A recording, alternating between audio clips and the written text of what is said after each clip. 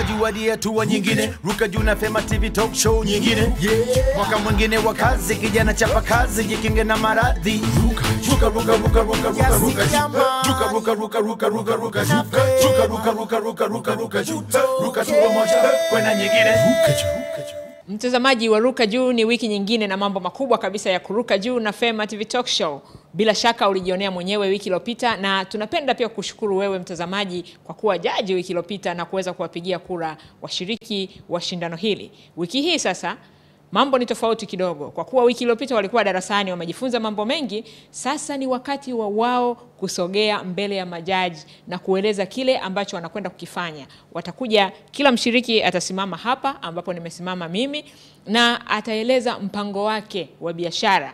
Atakuja mbele ya majaji ambao watakuwa wamekaa kwenye meza hii. Majaji wangu watakuwa wamekaa kwenye meza hii hapa, na watakuwa wanawaangalia hawa washiriki ni vitu gani ambavyo wanavizungumza. Je, vina mantiki na vinawezekana kufanyika katika huo mpango wa biashara ambao kila mmoja wao ataueleza. Majaji wangu wa leo watakuwa tofauti kidogo. Tumewaita kwa sababu wao ni wataalamu wa mambo ya mipango ya biashara, wamezoea kufanya kazi ya kujaji mipango ya biashara, na kwa maana hiyo basi leo watatoa alama mbalimbali mbali kwa washiriki, lakini na wewe pia mtazamaji bado utakuwa na nafasi ya kupiga kura pale dada Bahati atakapokuwa ameturuhusu kufanya hivyo. Asante Amabilis. Hamjambo watazamaji wa Ruka Juu na Fema TV Talk Show. Hii hapa ni ngwe nyingine ya Ruka Juu na Fema TV Talk Show ambapo eh, umekutana tena na dada Bahati ili uweze kubahatika hapa eh, jinsi ambavyo siku zinavyozidi kwenda na mapigo ya moyo yanazidi kuendelea, maana fainali ndio ambayo imeshakaribia kabisa, iko kingoni kabisa na ni wiki ijayo tu. Sijui kwa nini hauendelei kupiga kura kuweza kumfanya mshiriki ambaye unadhani kwamba anastahili kunyakua milioni tano asizipate. Eh, moja kwa moja basi tuende kwenye matokeo ya wiki eh, na kama unakumbuka kabisa katika jaribio hili la nane, wewe mtazamaji ulikuwa na asilimia mia moja kumpigia kura mshiriki yule ambaye unadhani kwamba anastahili kabisa kunyakua kile kitita cha milioni tano.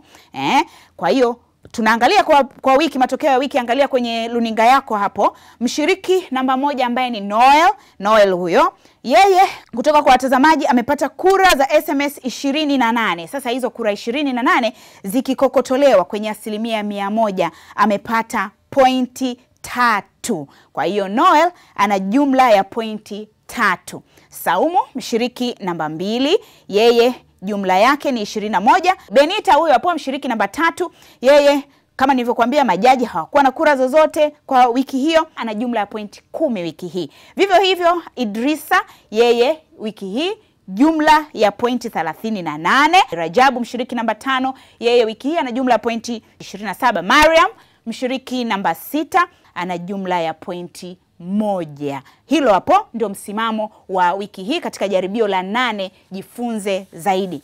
Twende basi katika mjumuisho eh, kura matokeo ya jumla mpaka sasa, na Noel kabla alikuwa na pointi mia mbili hamsini na moja ukijumlisha basi na jaribio la nane la wiki hii hapo pointi tatu. Kwa hiyo mpaka sasa Noel amesimamia jumla ya pointi mia mbili hamsini na nne eh.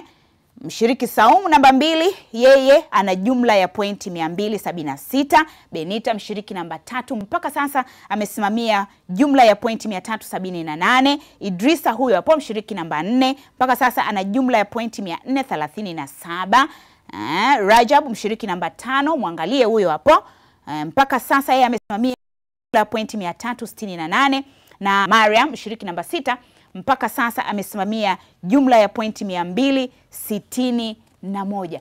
Mtazamaji, kumbuka tu kwamba kipindi kijacho kitakuwa live na kitakuwa ni fainali eh? Fainali sasa kuweza kumtambua ni nani basi atanyakua ile milioni tano akaweka kibindoni na kuweza kuendeleza biashara yako. Kwa maana hiyo basi dirisha halitafungwa, dirisha letu la kupiga kura halitafungwa na halitafungwa mpaka nusu saa kabla ya kipindi kuisha eh? Narudia tena halitafungwa dirisha. Kwa hiyo ni juhudi yako wewe ya kupiga kura. Halitafungwa dirisha mpaka nusu saa kabla ya kipindi kuisha eh?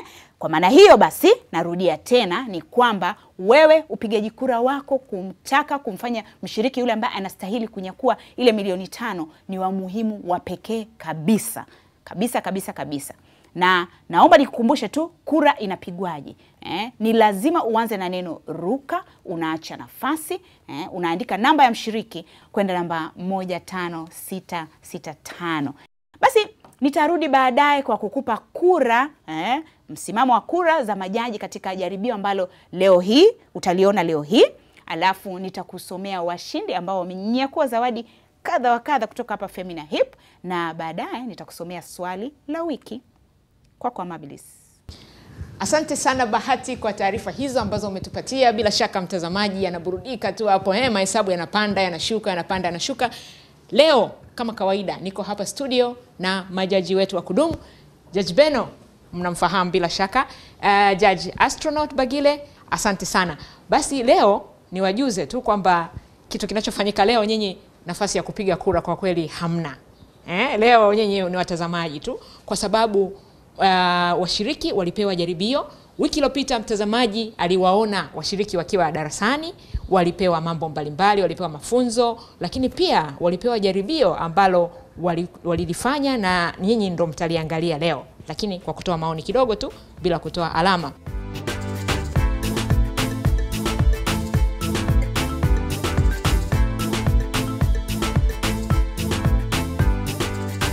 Mtazamaji wa Ruka Juu na Fema TV Talk Show, washiriki walipewa jaribio ambalo walilifanya maeneo ya darasani kule ambako walikuwa wanajifunza. Uliwaona wiki iliyopita, ni jaribio la mpango wa biashara. Kutokana na umuhimu wa mpango wa biashara, basi tuliona tuhame kidogo, tukupe kionjo tofauti. Tuna majaji wengine ambao ni tofauti kabisa na hawa uliowazoea kuwaona, wale majaji wageni na hawa ambao umewazoea kuwaona majaji wetu wa kudumu hawapo, ni wengine kabisa, sura tofauti ambao tunao leo. Walisimama pale wakawaangalia washiriki katika jaribio lao hilo, wakawapa alama na mambo ambayo mengine utakwenda kuyaona mtazamaji, mambo ambayo utakwenda kuyaona mtazamaji wa Ruka Juu na Fema TV Talk Show. Basi angalia, majaji wangu, jiunge na mtazamaji wa Ruka Juu na Fema TV Talk Show, tuone hawa washiriki walifanya nini katika hilo jaribio ambalo walipewa na wakaangaliwa na majaji wengine tofauti tuwaone watatu kwanza, alafu tutawaona na wengine walifanyaje.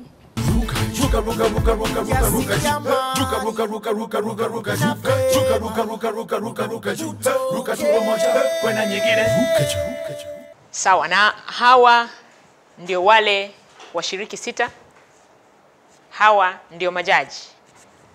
Jaji namba moja pale anaitwa Ramadhani Ahungu, yeye ni mkurugenzi wa shirika lisilo la kiserikali linaitwa ASMET ni shirika la kuwaendeleza na kuwawezesha wajasiriamali. Anayefuata pale jaji namba mbili ni Catherine Fulgence. Yeye ni mhadhiri msaidizi wa chuo kikuu cha Dar es Salaam, anafundisha mambo ya ujasiriamali na uongozi. Na jaji namba tatu pale anaitwa Gilead Nkini.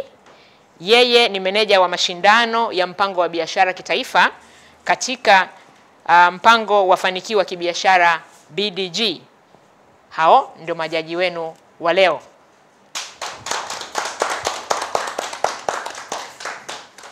Kinachofuata sasa, washiriki waruka Juu, kuna karatasi ndogo ndogo kama hii niliyoshika, mnaziona hapa kwenye meza. Kwa utaratibu wa kujipanga nyinyi wenyewe tu, mtachukua moja moja, alafu ukichukua namba utakayochagua, ina maana itakuwa ni namba yako ya kuingia humu ndani.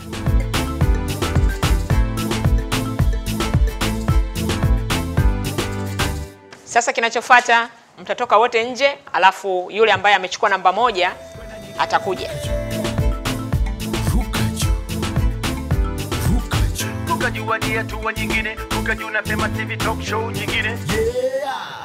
Kwa jina naitwa Saumu Pongo Liku, natokea mkoa wa Tanga, ni mjasiriamali na mfanyabiashara.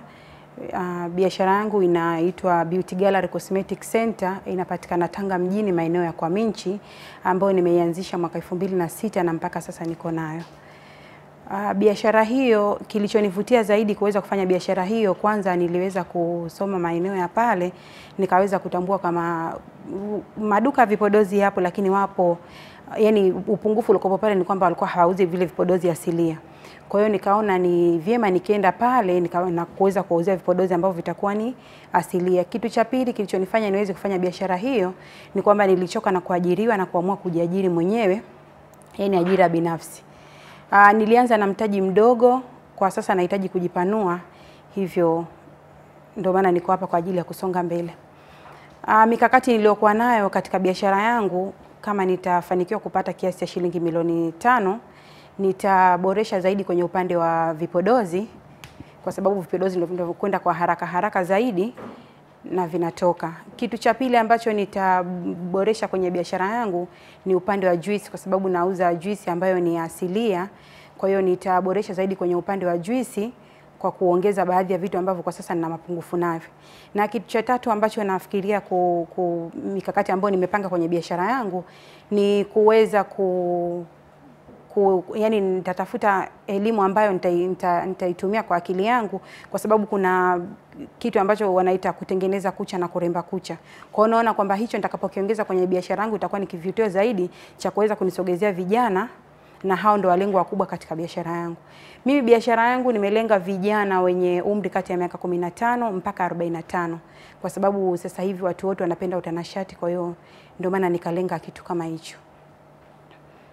Ah, changamoto ninazokutana nazo kwenye biashara yangu ni kwamba bidhaa nilizokuwepo nazo dukani kwangu ni kidogo. Wakitokea watu wa, wanataka kipodozi cha aina moja kwa wakati huo, siwezi kuwahudumia.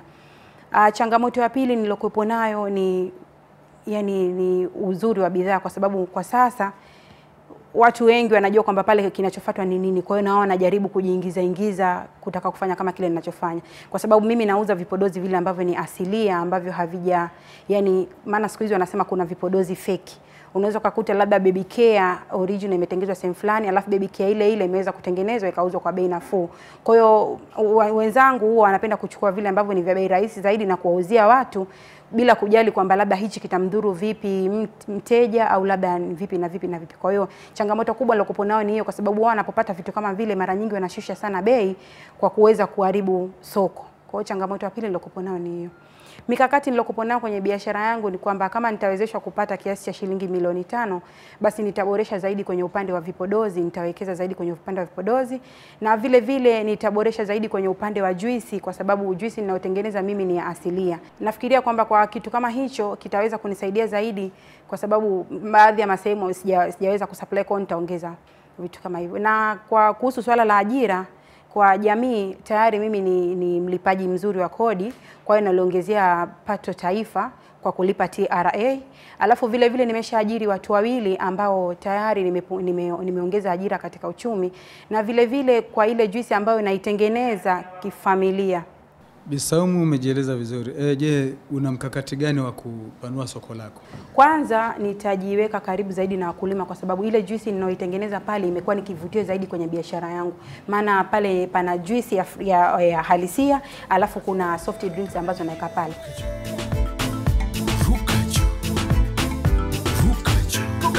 Hatua nyingine. Na TV talk show nyingine. Yeah. Mimi kwa jina naitwa Noel Joseph, mshiriki wa ujasiriamali toka Tanga. Biashara yangu ambayo najihusisha nao mimi ni uuzaji wa soda za jumla, pia na kuwasambazia wanajamii ambao wanahitaji mzigo mkubwa zaidi. Uh, biashara hii nilipata kupitia michakato mingi sana iliyopita, nilikuwa ni mingi. Uh, tulipofanya kazi, nilifanya kazi takriban mwaka moja na nusu pale Vingunguti Pepsi, pale kampuni ya Pepsi. Nimefanya miaka mwaka moja na nusu. Baada ya hapo wafanyakazi wakawa wengi sana, kwa hiyo namna ya kupunguzwa, nilikuwa na akiba yangu kidogo ambayo nilikuwa nimejiwekea, pia tukapewa hela kidogo. Kuna jamaa yangu yuko Tanga, nikaenda Tanga. Kufika Tanga akaniambia kuna kazi pale Tanga Cement. Kufika pale Tanga Cement kazi ikawa ngumu. Kwa vile nilishafika pale na nishaona hali yake jamaa mwenyewe ilikuwa ni ngumu na hela nikazidi kuitumia zaidi. Ndio nilivyokuwa nazidi kusoma mazingira. Nikaangalia wakazi wa Tanga eneo hilo wanahitaji nini? Nikajua wanahitaji vinywaji. Unaona? Sasa hivi vinywaji nitavipata vipi? Hela niliyokuwa nayo haitoshi. Nilikuwa na laki nane mfukoni. Unaona? Maana kutoa kutoa mzigo mjini mpaka pale ilikuwa kama ni kilomita kumi hivi na cost. Kwa namna ya usafiri na mambo mengine ilikuwa ni magumu. Okay, nikavumilia hivyo hivyo nika, nikaenda kwa jamaa zangu pale pale Tanga wengine ambao washafahamiana nao, nikaongea nao kanaambia bwana mzigo utapata, lakini sasa namna na credit upataji ni mgumu. Nikasema hamna shida, mimi nitatoa hii hela na kama itakuwa vipi tutamalizana baadaye. Wakaniruhusu kuchukua product mbili ya soda, nikachukua Coca na Pepsi. nikawa nimelipa ile hela, nikakodi kachumba kadogo kadogo pale, nikaanza kuuza kidogo kidogo. Baada ya kuuza kidogo kidogo, watu wateja wakawa wamezoea, nikapata jengo lingine pale jipya ambalo lilikuwa linajengwa, nikaoda, nikafanikiwa kulipata lile jengo. Baada ya kupata lile jengo, nilihamisha biashara yangu pale. Biashara yangu rasmi ilianza mwaka 2008 tarehe 20 mwezi wa sita. Kwa kweli biashara yangu niliona matumaini sana ilikuwa inakuwa jinsi ninavyohusika katika ile jamii. Mimi nahusika katika ile jamii kwa sababu na msaidizi wangu. Maana yake msaidizi wangu nimemwajiri. Kwa hiyo kumwajiri na, napunguza eh, na, natoa ajira katika jamii, napunguza uzururaji pia, hata maambukizi ya ugonjwa wa ukimwi napunguza pia, kwa sababu mtu anapokuwa busy pale, mambo yake ya kufikiria kwa ni kidogo sana. Mambo mengine ambayo nasikia katika jamii, natoa huduma. Wanatoa huduma, nimeshawarahisishia jamii kwenda sehemu nyingine mbali kutoka katika sehemu yangu. Unaona, kutoka pale sehemu yangu kwenda mjini labda takriban kilomita kumi na mshindani wangu ambaye niko karibu naye ni kilomita tano. Kwa hiyo nimeshawapunguzia namna ya usafiri. Kingine nahusiana katika jamii, natoa ile huduma kwa sababu taasisi ambazo zimenizunguka pale ni nyingi. Kwa hiyo nimeshawarahisishia pia huduma yangu. Haya, malengo yangu nimejiwekea ni kujenga depo kubwa. Naona depo kubwa pale ambao itakidhi mahitaji ya wanajamii pia na kununua usafiri wa kuniwezesha kusupply vizuri mzigo wangu na kuboresha zaidi ofisi na huduma kuwa nzuri zaidi. Asante Noel kwa mchango wako kwenye jamii. Ningependa nikuulize, je, uh, biashara yako inahitaji ujuzi gani au sifa gani ili mtu aweze kufanya biashara yako? Biashara yangu kwa kweli ina ujuzi lakini sio mkubwa sana kivile. Uju- Ujuzi unatoka pale mtu kuwa msafi. Maana unapotoa huduma ile ya vinywaji lazima uwe msafi, na kingine lazima uwe na nguvu kidogo, maana pale nauza crate. Kwa hiyo kama una nguvu kwa kweli, crate huwezi kuibeba, itakuwa ni hasara.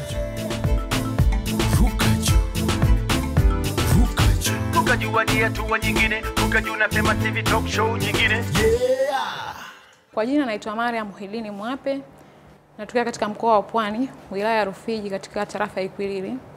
Mimi ni mjasiriamali. Jina la biashara yangu ni Mama Joha Cafe. Biashara yangu nilianza rasmi tarehe 30 mwezi wa tisa mwaka elfu mbili na tisa. Biashara hii nilianza na mtaji mdogo sana, lakini baada ya muda niliamua kwenda kukopa benki NMB kiasi cha pesa shilingi milioni4 na nikaendelezea biashara yangu. Kitu ambacho kilinipa msukumo ya kuanza biashara, kitu kimojawapo ilikuwa ni kwanza mimi mwenyewe kupunguza hali ya tegemezi katika ya familia au jamii. Kitu cha pili, niliona kuna uhitaji mkubwa sana sehemu ambayo ina- biashara yangu ipo na hakuna mtu yoyote ambaye alikuwa anatoa huduma katika sehemu ile, ndipo nilipoamua kuanza. Mikakati niliyokuwa nayo mpaka sasa hivi ni kupanua zaidi ile biashara nataka wasafiri wote ambao wanatoka Dar es Salaam kuelekea mikoa ya kusini wawe wanakula pale na ambao wanatoka kusini kuelekea Dar es Salaam wawe wanakula pale. Biashara yangu pia ina umuhimu mkubwa sana katika jamii. Kwanza inawaajiri wasichana ambao mwanzo walikuwa tegemezi katika familia zao au katika jamii, lakini pale wanapopata ajira wanakuwa wanampunguza hali ya utegemezi katika familia au katika jamii. Endapo nitapata shilingi milioni tano nitazitumia kwa kuboresha biashara yangu, kununua vifaa mbalimbali vya kisasa kama vile viti, meza na vyombo mbalimbali ambavyo wapinzani wangu wa biashara kama ile ambao wao watakuwa hawana. Pia na uhakika biashara hii itakuwa endelevu kwa kuhakikisha kwamba nitatunza kumbukumbu zote za fedha na kwa, kwa kuifat, na kuifuatilia kiumakini kuiongoza biashara hii. Asante Mariam kwa uh, kuwasikilisha vizuri. Ningependa kufahamu ni vigezo gani ambavyo unavitumia kuajiri wa mabinti, umesema wasichana wa kazi, unatumia vigezo gani kuajiri? Yaani huwa namwita mtu mmoja mmoja kwa muda wake tofauti na kumuuliza maswali mbalimbali ambayo yanahusiana na biashara yangu husika. Hapo ndo nitajua ni huyu ananifaa fanya biashara na yeye au kama nifai nitakuwa simrudii tena. Mariam, hongera sana, umejieleza vizuri. Ningependa tu kujua kama ukipata hizo milioni tano zitatosheleza kupanua hiyo biashara yako na kukidhi mahitaji ya wateja wako au Pesa ambazo nitapata shilingi milioni tano kwangu mimi zitakuwa hazitoshi, na nitakachofanya pia nitakaporudi, kwa sababu mimi benki tayari washanizoea, kwa sababu nishai kukopa. Nitakachofanya ni kwenda benki kwenda kuongeza mkopo, yani nitakopa tena, alafu nitaongeza ambacho hicho nitakachopata, alafu nitaipanua ile biashara. Pia na uhakika faida, yani na uhakika biashara yangu ina faida kutokana na uzoefu kwanza nilikuwa nao na wateja ambao wapo pale ambao siku nyingi na nawafanyia biashara hiyo. Kwa hiyo naweka ninapata faida, kwa sababu tangia siku ile na niliweza kuchukua mkopo hadi nikarudisha, ni faida napata.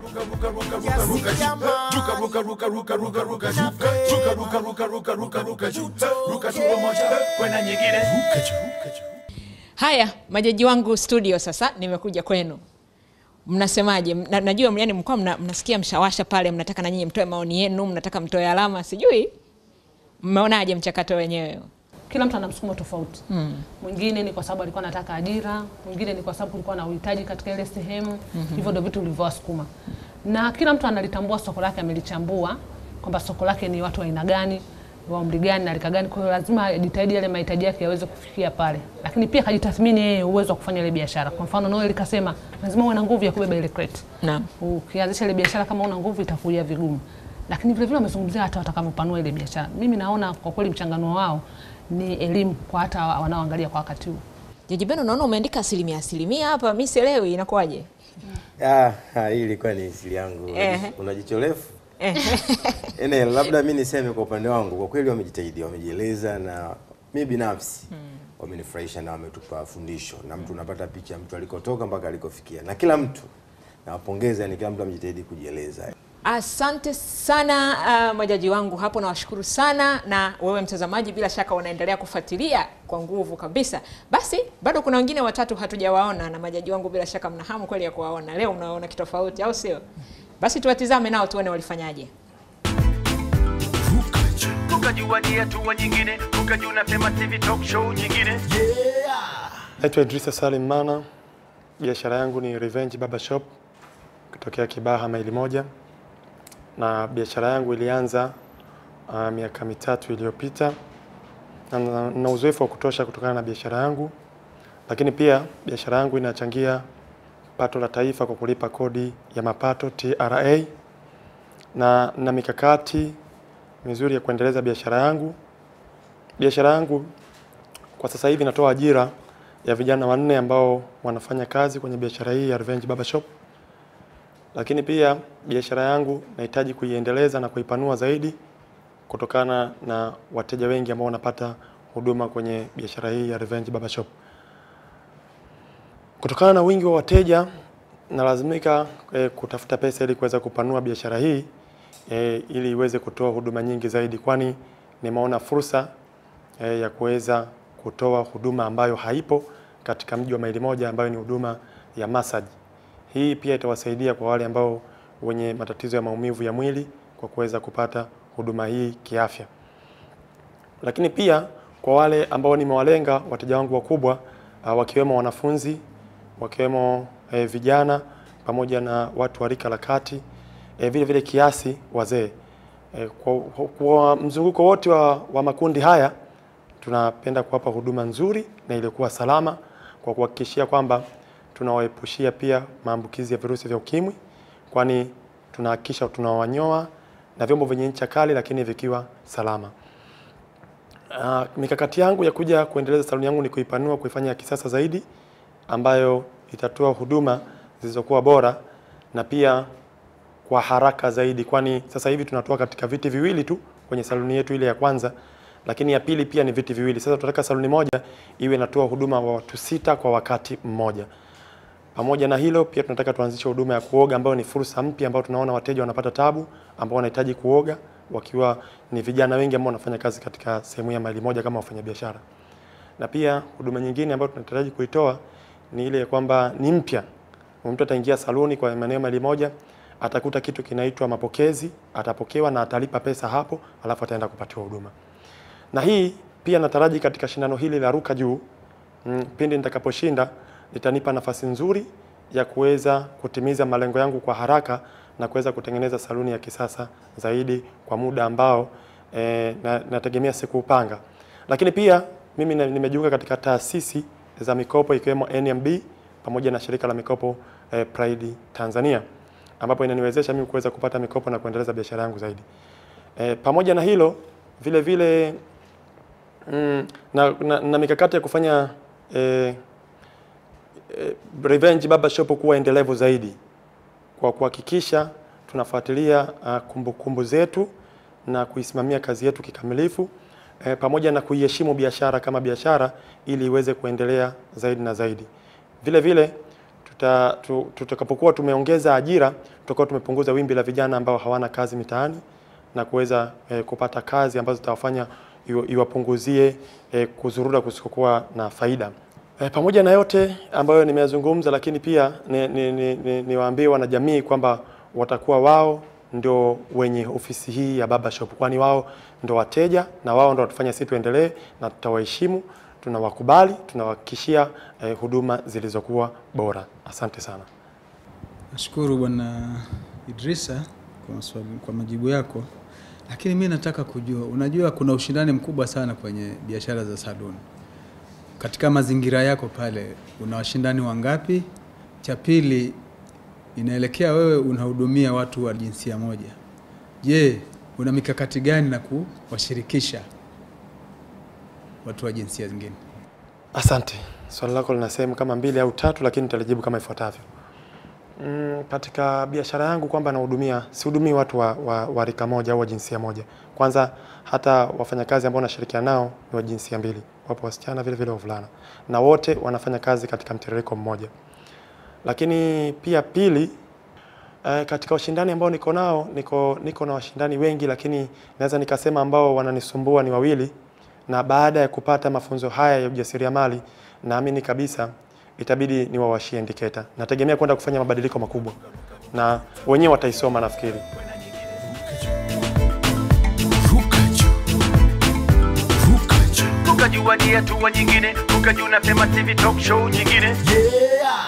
Mimi naitwa Benita Kalo Mwinuka, natoka mkoa wa Iringa, wilaya ya Njombe. Jina la biashara yangu Mama Diana Tailoring Mart. Mimi ni fundi kushona, nimejifunza mwaka 2004, mtaji nikaa sina. Nilipokuwa sina nikaanza na kuuza maandazi. Nimeuza miezi mitatu, nikapata mtaji wa kukodi cheleani kwa mtu. Nikalipa miezi minne. Nilipolipa ile cheleani miezi minne, ni, nimeshona kama miezi sita nikapata hela kununua cheleani ya kwangu. Badala hapo niliponunua cheleani ya kwangu ya moja nika najitegemea nikatafuta ofisi ya kwangu peke yangu. Nimejifunza kushona, nimeshona. Badala hapo nikabuni kwa ni, niwe nafundisha watu ili wao wanapata elimu. Nimewafundisha kushona, wa kwanza nikapata mwanafunzi nikanua cherehani ya pili, na mpaka sasa nafundisha wanafunzi kushona. Nina cherehani vitano na nafundisha wanafu, watu kuanzia umri wa miaka kumi na tano mpaka hamsini. Malengo yangu na mikakati yangu ni kija kufanikisha kupanua banda lile liwe kubwa na se, vyerehani viweze kukaa wote, niweze kuchukua wanafunzi ishirini kwa wakati mmoja, ndio malengo yangu. Pia pia naisaidia elimu na, seri, nani jamii kwa kuwapa elimu kutoa kwa kutoa mafunzo ya ufundi kushona na malengo yangu hayo. Benita, kwanza hongera kwa kujieleza vizuri. E, swali langu tu ni kwamba una mikakati gani ya kukuza hiyo biashara?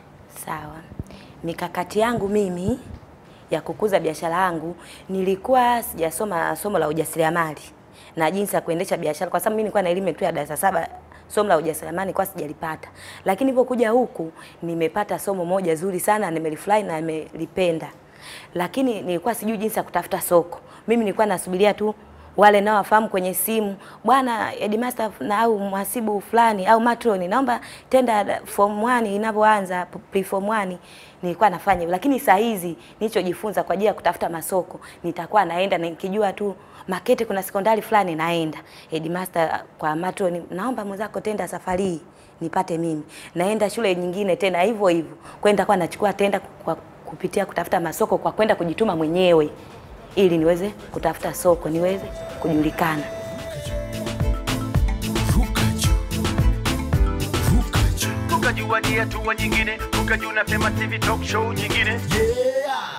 Jina naitwa Rajabu Mnyamisi Mgongwe.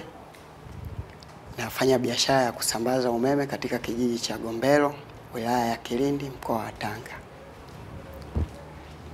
Mara ya kwanza kabisa kabla sijaanza biashara hii nilikuwa nilikuwa ni mkulima.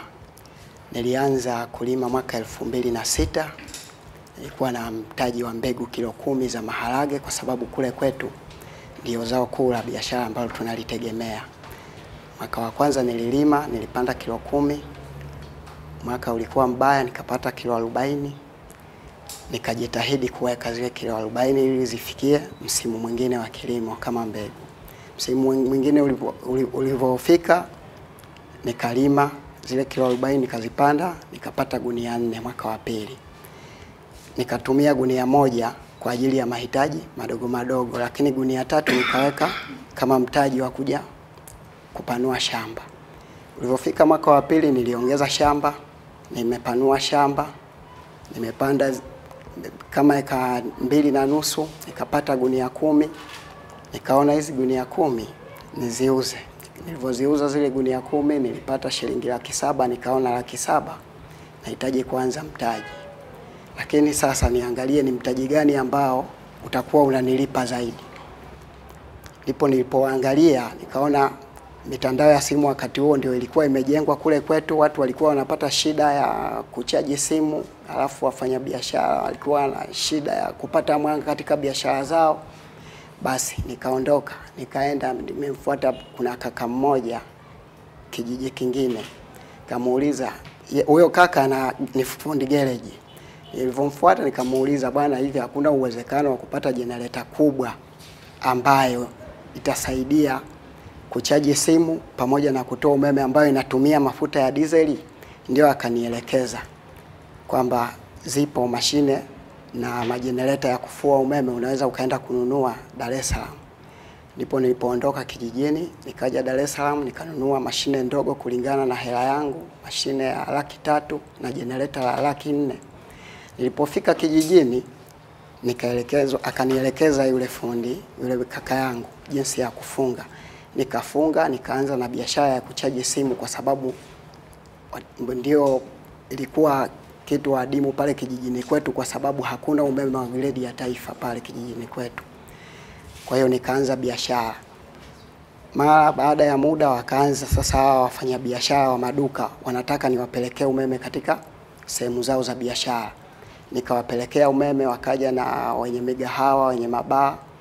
Baadaye nikaona kwamba mashine ile haitoshi, uwezo wake wa kusukuma ile generator ni mdogo. Nika, nikaja Dar es Salaam tena nikanunua injini kubwa ya horsepower 20 JD, nikaenda pale nikafunga, umeme ukawa mkubwa zaidi kulingana na mahitaji. Nikaendelea na ile biashara. Baadaye kuna mtu akanifuata, bwana, kuna injini yangu. Nikaona injini, kuongeza injini ni muhimu kwa sababu kuna wakati naifanyia matengenezo ile injini moja, kwa hiyo ingine iendelee kufanya kazi na, na, na mategemeo yangu nikipata shilingi milioni tano kama endapo nitashinda ili shindano ni kupanua ule mradi wangu, kwanza kwa kununua jenereta kubwa zaidi. Nitaboresha ile biashara ili ku, kuweza kufika hata kwa wale ambao wa, wanahitaji umeme huko mitaani, lakini hakuna uwezekano kwa sababu ya wa, nyaya ninazotumia. Zile nyaya ninazotumia ni nyaya ambazo si special kwa ajili ya kwa ajili ya kusambaza umeme, kwa sababu natumia nyaya hizi ndogo za spika. sijui. Ningeomba tuelezee kidogo kwamba biashara yako unaisimamiaje na kama unaajiri uh, wafanyakazi, yani unatumia vigezo gani kuajiri mtu ambaye anaona atakufaa katika biashara yako? Biashara yangu naisimamia mwenyewe. Mimi si mtaalamu wa masuala ya umeme, lakini kutokana na jinsi nilivyoelekezwa na uzoefu nilioupata, huwa naisimamia ile biashara mimi mwenyewe, kwa sababu siwezi kuchukua watu mitaani wakati hawana ujuzi wowote. Wanaweza wakaniunguzia vitu pamoja na kuunguza vitu vya watu.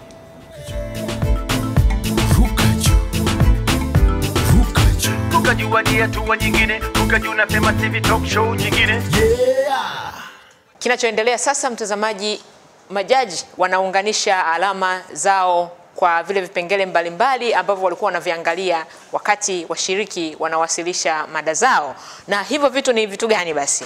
Walikuwa wanaangalia historia ya biashara, mshiriki ame- ame- ameieleza vipi, msukumo gani ulimfanya mshiriki afanye hiyo biashara anayoifanya, masoko yake yako namna gani na anayafahamu vipi, mkakati wake wa kukuza biashara umesimamaje, usimamizi wake wa fedha uko vipi.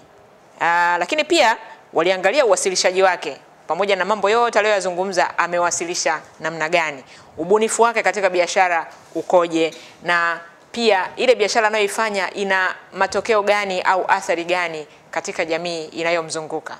Basi hayo ndio ambayo majaji wako bize kweli kweli hapa, ndivyo vitu ambavyo wanaviangalia. Ruka ruka ruka ruka ruka ruka juu. Ruka tu moja kwenda nyingine. Ruka juu. Ruka juu. Haya, mmeona mambo hayo, majaji wangu wa, wa, wa kudumu eh? Mnasemaje maendeleo ya jaribio hilo ambalo washiriki walipewa?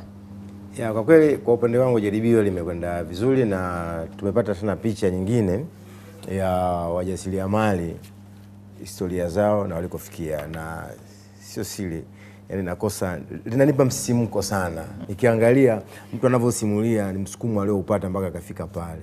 Kwa kweli wanahitaji pongezi, wamejitahidi. Hata aina ya maswali ambayo walikuwa wanaulizwa na majaji, unapata tu changamoto na mtu anavyoyajibu, unaona kabisa kuna uelewa, lakini mwisho wa siku wote wanakuambia kwamba kwa kipindi walichokaa wamejifunza zaidi na wanajiamini watakaporudi hawatakuwa vile walivyotoka.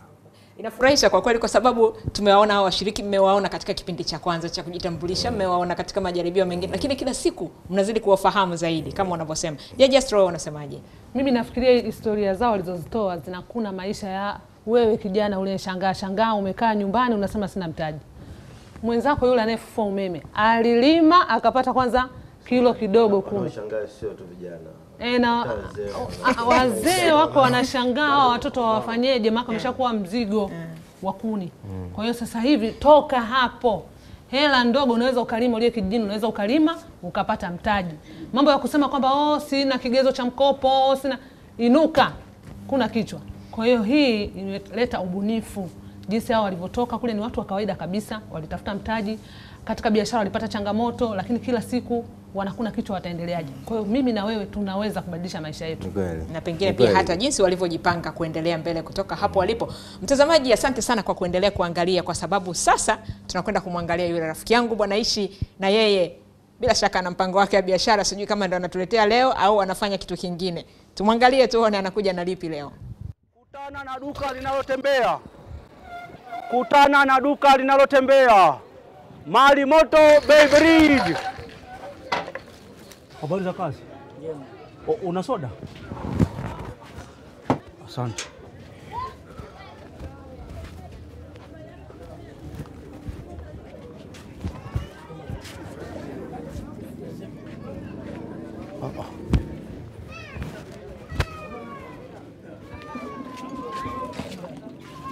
Samani, una, una nyundo hapo? Eh. Nisaidie, nyundo kidogo.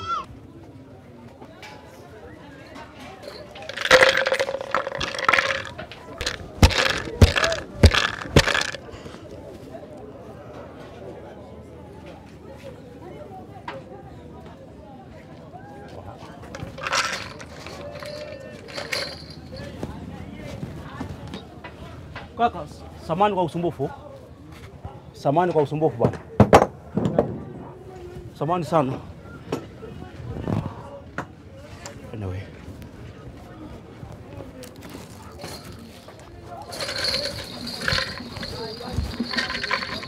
Jirani! Jirani! Ah ah. Mimi mlango nilipoona umefungwa nilijua hapa umetoka. Samani sana, naomba moja ya kunywa sababu kiu niliyokuwa nayo hapa sijapata kuona. Oh, asante. Asante sana. Asante sana. Maanake leo chupu chupu kibubu changu kipate majeraha. Mungu akubariki jirani yangu. Haya, haya, haya, haya.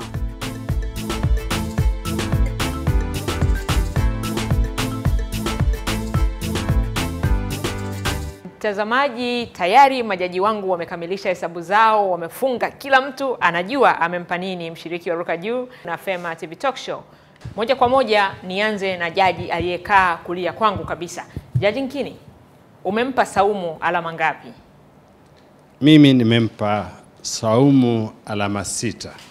Alama sita. Kwa sababu gani umempa alama sita? Saumu amejieleza vizuri, Ndio, anajua biashara anaifanya. ndio.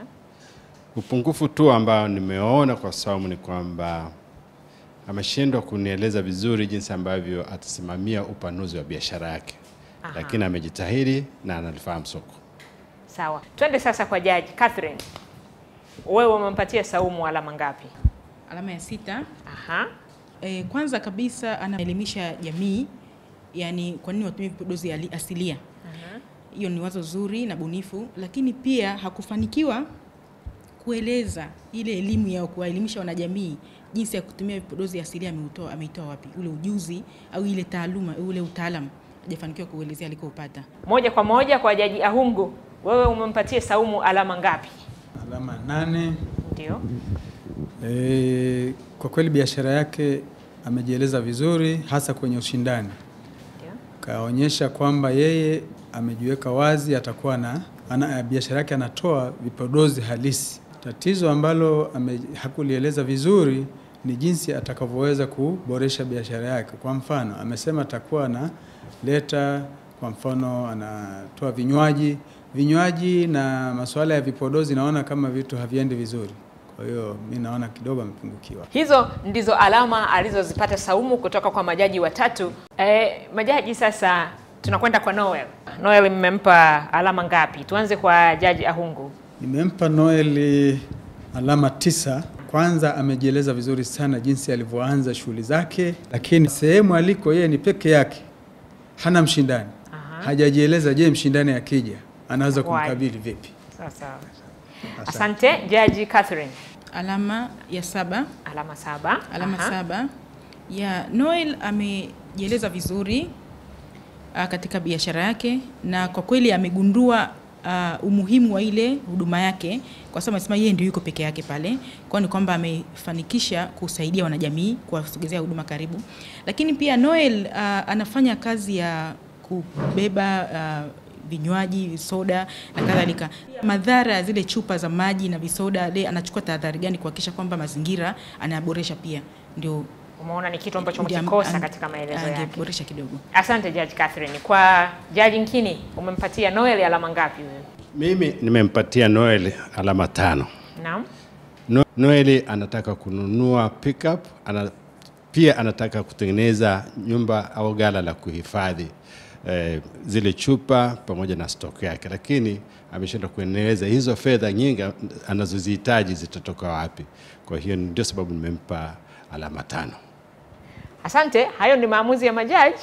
Mshiriki ambaye anafuata ni Mariam. Tuangalie ni alama ngapi ambazo mmempa Mariam. Judge Catherine, wewe umempa Mariam alama ngapi? Nimempa Mariam alama saba kama nilivyoonyesha hapo.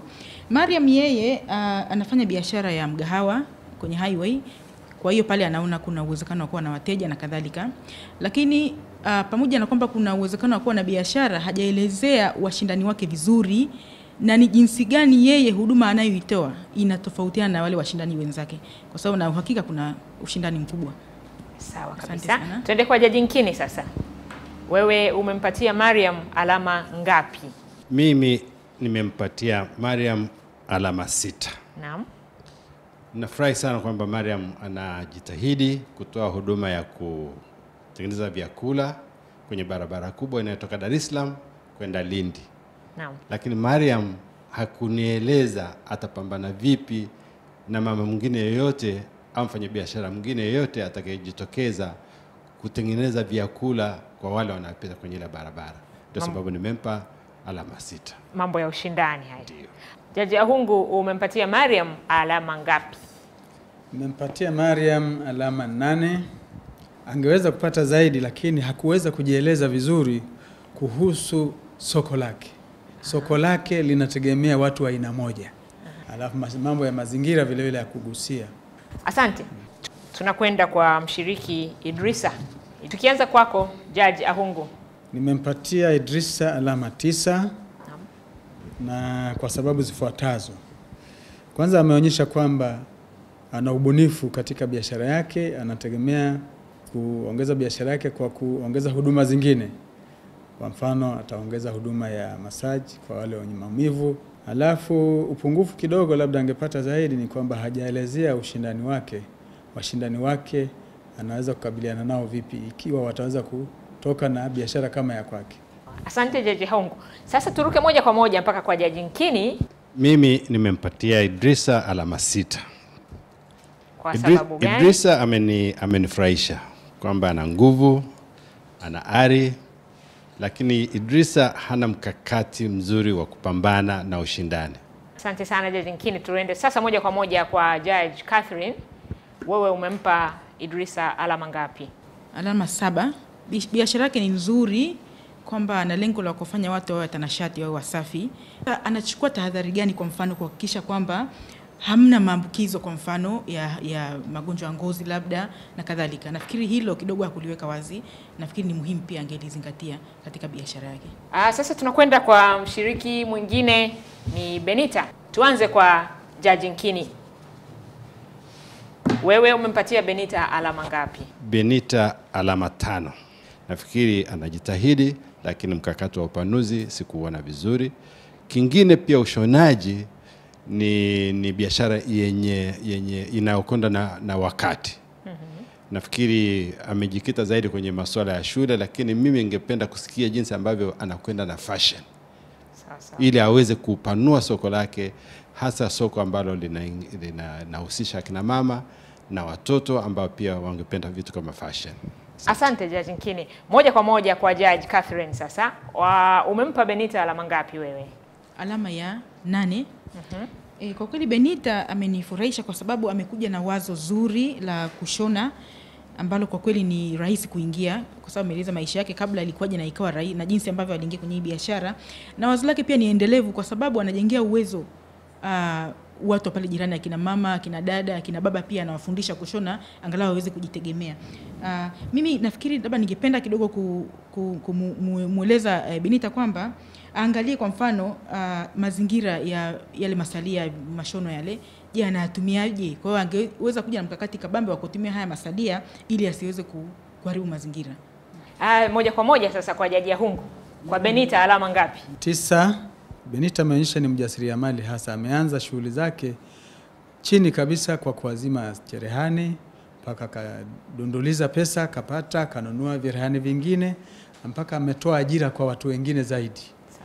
Alafu ameonyesha kwamba e, biashara yake anaweza kuipanua baada ya kuongeza e, matangazo au na kuwaendea wateja moja kwa moja kwenye sehemu zao. Asante Jaji. Swala la ushindani linaendelea kuwa kimbembe hapa, naona majaji wanalizungumza sana. Karibu kwa washiriki wote, na huyu anayefuata sasa ni Rajab kutoka Kilindi. Yeye mmempa alama ngapi? Hii nitaanza na Judge Catherine. Nimempa alama ya nane. Uh, kwa kweli wazo la Rajab ni bunifu na linahitajika kwenye jamii yetu, ila mimi ambalo nanipa tatizo ni kwamba biashara ya kufua umeme kwa generator ina riski na tahadhari. Kwa kweli kuna shorts kwa mfano na vitu vya namna hiyo. Sasa sijajua yeye kitaalamu anafanikisha vipi, amechukua tahadhari zipi kuweza kukabiliana na hayo majanga yanayotokana na umeme wa- wa kufua na kwa generator. Angeeleza vizuri zaidi hapo, pengine mambo yake yangekuwa mazuri zaidi. Kwako Jaji Yahungu, umempa Mimi Rajab nimempa alama Rajab alama nane. Kwanza biashara yake ni nzuri na ya ubunifu katika jamii na hakuna sehemu nyingine ya kupata hiyo biashara. Aha. Angeweza kupata zaidi, lakini ameshindwa kujieleza. Yeye si mtaalamu, hajasomea mambo ya umeme, hajaeleza anawezaje ku- kukabili. Kwa mfano, akipanua biashara yake ikakua, matatizo ya kiumeme ya kiufundi atayatekeleza vipi? Hajasema mkakati ya kujisomesha. Asante Jaji Yahungu. Uh, na sasa kwako Jaji Nkini. alama sita. Rajabu amejitahidi kujieleza na amejieleza vizuri kwamba yuko kwenye biashara ya kuzalisha na kusambaza umeme. Ameona upenyo wa biashara, ameingia kwenye biashara ile akajua kuna wa- wanunuzi, kuna wateja na anaendelea kuwasevu, lakini pamoja na hayo ni kwamba kutakuwa na matatizo ya usalama na kama kutatokea na ajali yoyote, nafikiri Rajabu atajikuta kwenye matatizo. Asante.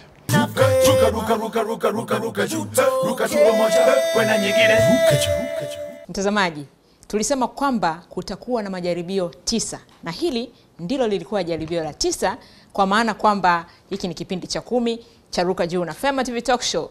Wiki ijayo tunakwenda kwenye kipindi cha kumi na moja ambacho ni cha mwisho, ni fainali. Majaji wangu, nakuja kwenu sasa. mmeonaje mchakato mzima eh? Mmeonaje majaji wenzenu leo walivyotoa alama pale walivyokuwa na wahukumu? Nataka kusikia kutoka kwenu, na mtazamaji wa Ruka Juu na Fema TV Talk Show aendelee kufaidika na maoni yenu nyinyi. Mimi naona hawa washiriki wamejitahidi kutuelimisha sisi na watazamaji namna ambavyo ujasiriamali ni mchakato. E, una safari ndefu, milima na mabonde, lakini kila mtu anajua anaenda wapi. Lakini pia tumeona mazuri kwao katika sehemu tofauti na mapungufu, kama ni kwenye mtaji, kama ni kwenye masoko, kama ni namna ya kuchambua wateja wao, kama ni tahadhari kama zilizosemwa. Tumejifunza vitu vingi katika safari nzima. Kwa hiyo hii ni fundisho kwetu kwa wale ambao ba, penginepo bado tumekaa tumebweteka, tunakula tu mezani bure, kwamba tunaweza tukaanzia tulipo na mtaji unaweza ukapatikana. Jaji Bena, unasemaje? Ya, mimi sitofautiani sana na jaji Astro, mm -hmm. lakini kwanza niwapongeze majaji. La pili nikija kwa upande wa washiriki, washiriki nao wamejitahidi, na ninachoshukuru tu ni kwamba tunapata picha na mwanga ya kumbe hakuna kisichowezekana. Kila mtu tunaona alikotoka, alivyofika, aliko na anaota nini kwenda mbele. Yeah, hiyo ndo Asante sana. Hayo ni maoni ya majaji wako wa kudumu ambao pia ni majaji wangu wa kudumu, ni majaji wa Ruka Juu na Fema TV Talk Show ambao tumewaona kila wiki tangu kipindi hiki kimeanza. Tunapoelekea fainali, majaji, tutarajie nini kutoka kwenu, kutoka Ruka Juu na Fema TV Talk Show? Mnaweza kuambia tu watazamaji. Ah, lazima tumtoe yule ambaye atang'ara kuliko wengine, lazima atoke kwa kura yako wewe na kura yangu mimi. Ya, mimi ninachotaka kusema tukae mkao wa kujifunza, tukae mkao wa kuona na tuone kabisa juhudi za mtu ndizo zitazomlipa. Asante sana majaji wangu, nichukue fursa hii kuwashukuru. Wiki ijayo eh, mambo yatakuwa tofauti kidogo. Kipindi hiki kitarushwa moja kwa moja eh, kutoka uh, kituo cha TV ambacho hapo baadaye nitakwambia. Nataka sasa hivi nimpe nafasi dada Bahati, yeye atuambie yale ambayo huwa anatuambia. Sitaki kukuambia mengi sana, twende kwa dada Bahati uh, tuone sasa yeye ana habari gani za kutuambia. Asante Amabilis, bila shaka umejionea jinsi ambavyo washiriki ambavyo wameiva eh, na kuonyesha umahiri mkubwa kabisa katika kuwasilisha mchanganuo wa biashara zao eh, na majaji. Basi angalia hapo kwenye luninga yako, majaji leo hii pointi walizozitoa kwa Noel mshiriki namba moja ni jumla ya pointi ishirini na moja. Saumu mshiriki namba mbili pointi ishirini kutoka kwa majaji na Benita huyo hapo mshiriki namba tatu amepata pointi ishirini na mbili. Idrisa mshiriki namba nne naye amepata pointi ishirini na mbili. Rajab mshiriki wetu namba tano naye amepata pointi ishirini na mbili kutoka kwa majaji katika jaribio hili la tisa, na Mariam mshiriki namba sita amepata jumla ya pointi ishirini na moja katika jaribio hili. Tuende basi tuangalie eh, wale ambao wameweza kubahatika eh, baada ya swali lile ambalo niliuliza wiki iliyopita, ni sababu za msingi wa mchanganuo kuandika mchanganuo wa biashara. Wengi mmetujibu vizuri, asanteni sana. Lakini wale watatu basi wa mwanzo ambao na watajinyakulia zawadi kutoka hapa Femina Hip, na utaziona hapo, si mwingine ni huyu hapa aliyetoa jibu hili. Anasema umuhimu wa mchanganuo wa biashara ni kutoa picha ama muono wa mradi, kuwezesha ufuatiliaji na tathmini ya mradi, kujua changamoto na fursa ulizonazo mjasiriamali katika biashara yako. Na huyo hapo si mwingine bali ni huyu hapa anaitwa Makarius Komba wa Mbeya. Wewe umebahatika na zawadi zako hizo hapo zinaonekana. Mshindi wa pili ambaye leo hii amebahatika si mwingine ni Nyela Alois Malando wa Sengerema, Mwanza, na watatu si mwingine ni Ali Makota wa Bongo la Mboto, Dar es Salaam, na zawadi zenu ni hizo hapo zinaonekana. Jamani, zawadi bado ni nyingi, na kwa sababu swali la wiki ijayo ambayo kipindi kitakuwa live eh, mta, tutaweza kuwasomea washindi pale pale live, na swali linaenda kama ifuatavyo: kisia ama otea ni kiasi gani cha fedha ambacho Bwana Ishi amewekeza akiba katika kibubu chake mpaka sasa?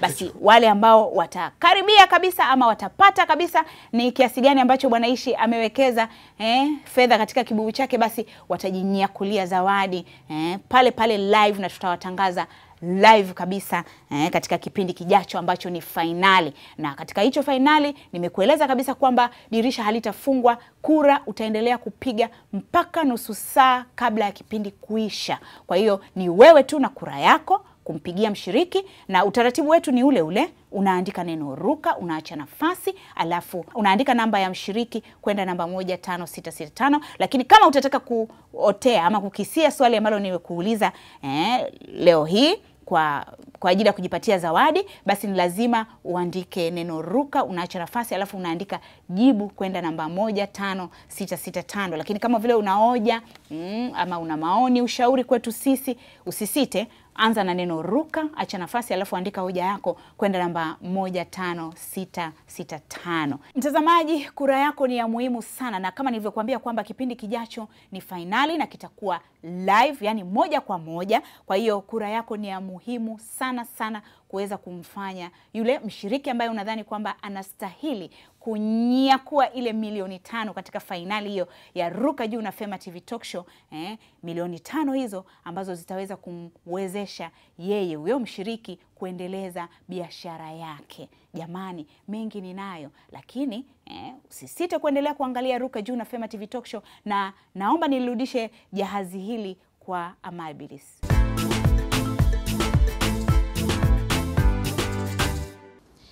Asante sana Bahati, ni kushukuru zaidi kwa kile kitendo cha kufafanua hasa kwamba muda wa kupiga kura kwa watazamaji unaongezeka na kutakuwa hamna kupumzika, ni wiki nzima wewe unapiga kura. Unajua ni kwa nini? Kama alivyoeleza dada Bahati, kipindi kinachokuja ni fainali, kitarushwa moja kwa moja au kwa Kienglish tunasema live kitarushwa kutoka kituo cha ITV Jumamosi. Kwa maana hiyo, wewe mtazamaji ambaye unatizama Ruka Juu na Fema TV Talk Show kupitia TBC au Clouds TV utaweza bado kukiona, lakini kitakuwa sio live, kitakuwa kimerekodiwa.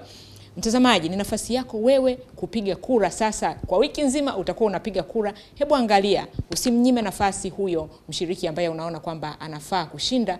Mpigie kura yako basi, ili umsogeze hapo panapostahili. Niseme nini tena zaidi ya hapo?